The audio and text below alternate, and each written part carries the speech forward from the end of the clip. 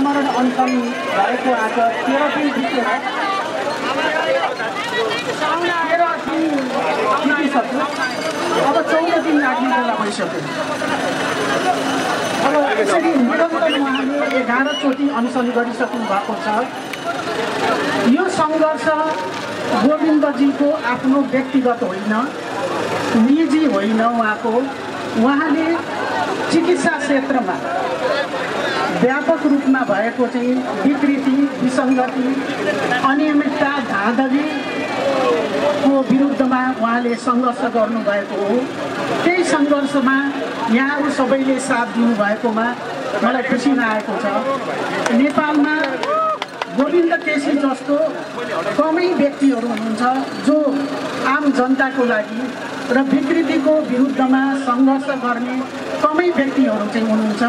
धेरै जसो मानिसहरू स्वार्थमा जोडिएका छन् तर गोविन्द केसीजी आफ्नो स्वार्थमा जोडिनु भएको होइन। यो चाहिँ के हो भन्दाखेरि यो चिकित्सा क्षेत्रमा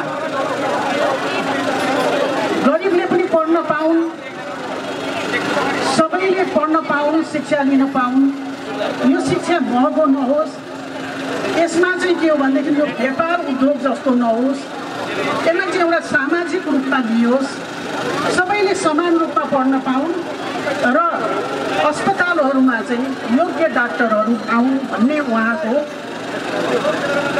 उहाँको माग हो यसै बमोजिम कानुन बन्नुपर्दछ भन्ने पनि उहाँको माग। हो र यो माग गलत छैन। वास्तवमा भन्यो भने यो माग कानुन सम्मत छ न्याय सम्मत छ र विधि सम्मत हो यो माग।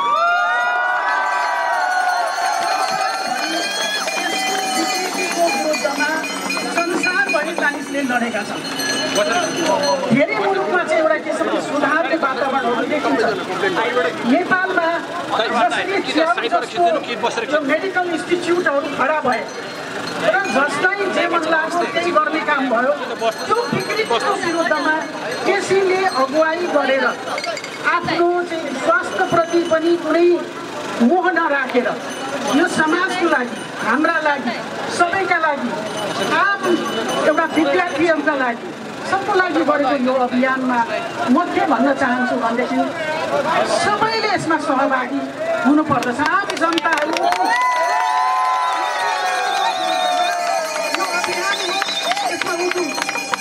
विकृतिको विरुद्धमा। र एकबद्धता एउटा प्रधान न्यायाधीश भूतपूर्वको रूपमा आएर एकबद्धता जनाउने पनि विकृति र विसङ्गतिको विरुद्ध हो यो लडाइँ